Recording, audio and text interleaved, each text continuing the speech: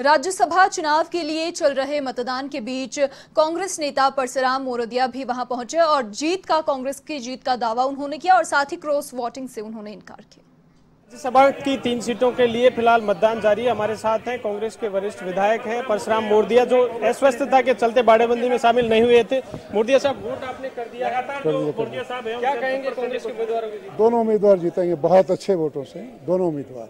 लेकिन जिस तरह कहा जा रहा था खरीद फरोख्त की आपको लगता है कोई क्रॉस वोटिंग की संभावना? कोई क्रॉस वोटिंग नहीं होगा।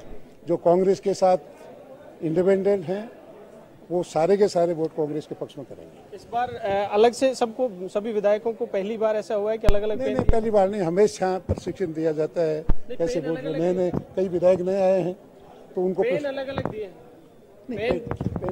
मतदान के लिए जो पेन दिया मतदान के लिए पेन जो अलग अलग दिया हर एक मान्य सदस्य को पेन देते हैं वो साथ में ले जाते नहीं पेन। उनको पेन देते हैं तो उसी से वो वोट इस बार संक्रमण के चलते कोरोना के चलते ऐसा हुआ है कि अलग अलग पेन?